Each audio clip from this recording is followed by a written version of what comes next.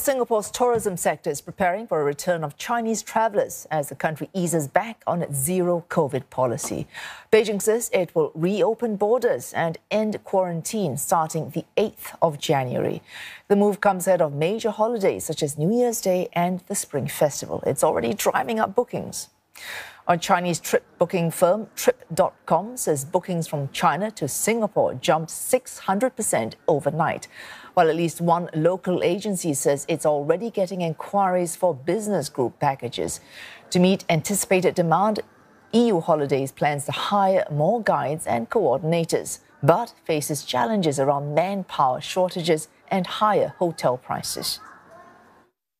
We will not be the only travel agent that uh, is going to handle groups from China. So I believe that the price hike on the hotels based on the demand will spike. And at the same time, um, hiring in Singapore has been quite challenging over the past one year since after the COVID opened.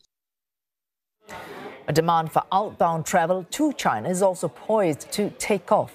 Several travel agencies tell CNA they have been receiving inquiries, mostly from travelers returning home or heading there for business.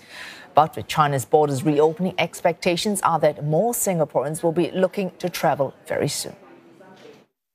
We will be launching 10 bestseller routes, uh, such as Beijing, Jiangnan, Yunnan, Fujian, uh, in line with where most have expressed interest in. Tour prices are expected to increase about 20%, largely driven by market forces uh, inflation as well as enhanced safety and hygiene protocols